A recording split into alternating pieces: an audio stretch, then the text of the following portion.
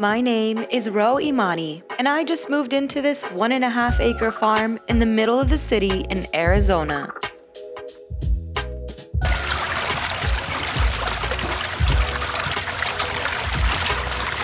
I've been traveling for most of my life, never really putting down roots.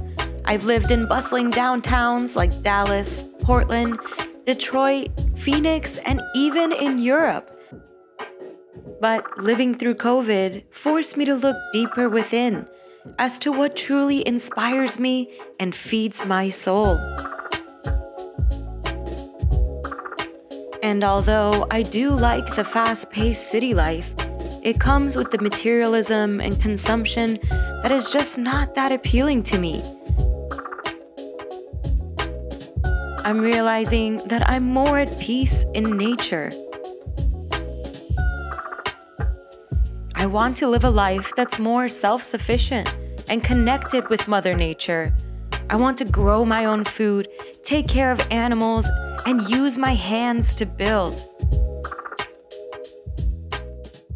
The only problem is, I don't know the first thing about farm life, gardening, or taking care of animals. And there's a lot of work to be done.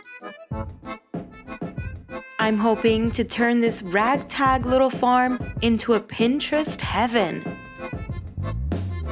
I'll be spending the next few years learning everything I can about permaculture, raising farm animals, and cleaning this place up one small DIY project at a time, and eventually turn this humble little farm into my own perma paradise.